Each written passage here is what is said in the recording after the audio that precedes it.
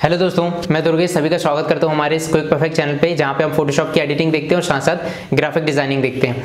आज मैं आपके साथ शेयर करने वाला हूँ कुछ इंपॉर्टेंट शॉर्टकट की। फोटोशॉप में यूज़ होने वाली इंपॉर्टेंट शॉर्टकट कीज हैं, जो आपके डेली फोटोशॉप वर्क के लिए काफ़ी इंपॉर्टेंट रोल प्ले करती हैं।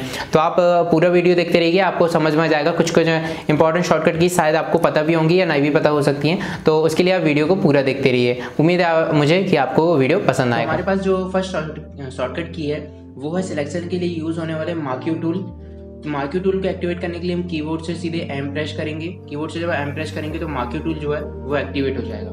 उसके बाद मूव करने के लिए आप मूव टूल को कमांड बी से वी प्रेस करेंगे तो मूव टूल एक्टिवेट हो जाएगा और मूव कर सकते हैं आप किसी भी इमेज को. इमेज को जब आप मूव करेंगे, उसके बाद जो है आप उसको स्लाइड करके अच्छी तरीके से एडजस्ट कर सकते हैं.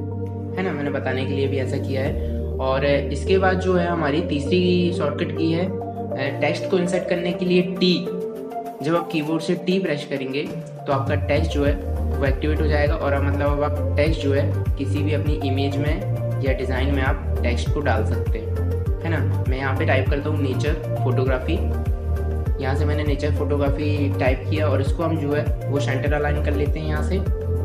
सेंटर अलाइन करने के बाद इसको थोड़ा सा एडजस्ट करके हम जमा लेते हैं। है ना? जमाने के बाद इसमें हम क्या करेंगे? स्ट्रोक फिल कर देंगे। स्ट्रोक जो है, वो व्हाइट कलर का स्ट्रोक हम यहाँ से फिल कर देंगे। ये ट्वेंटी पे फिल करना, ठीक है? मैं तो चौथी हमारी शॉर्टकट की है शेप यू जब आप प्रेस करेंगे कीबोर्ड से तो आपको शेप एक्टिवेट हो जाएगा और वहाँ से आप शेप जो है वो दे सकते हैं। येलो पे ही रखता हूँ यहाँ पे, है ना?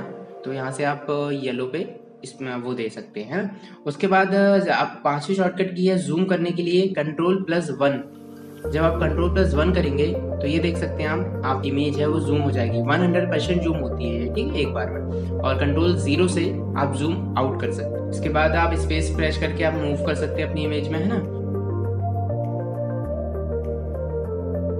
उसके बाद जो है छठवीं शॉर्टकट की है हमारे पास ब्रश को एक्टिवेट करने के लिए बी जब कमांड आप ब्रश करते हैं तो यहाँ से ब्रश एक्टिवेट हो जाता है और उसको आप ड्रॉ कर सकते हैं ना ब्रश को डायरेक्टली और इसके बाद सातवीं शॉर्टकट की हमारे पास है पेन टूल को एक्टिवेट करने के लिए कमांड पी मतलब आप पी प्रेस करेंगे डायरेक्ट शॉर्टकट की कीबोर्ड से तो यहाँ से पी पेन टूल एक्टिवेट हो जाएगा। उससे आप शेप क्रिएट कर सकते हैं सिलेक्शन कर सकते हैं। कुछ इस प्रकार से मैंने बताने के लिए आपको सिलेक्ट किया है। तो इस प्रकार से आप सिलेक्शन कर सकते हैं और कंट्रोल डी से जो है वो सिलेक्शन को डी कर सकते हैं।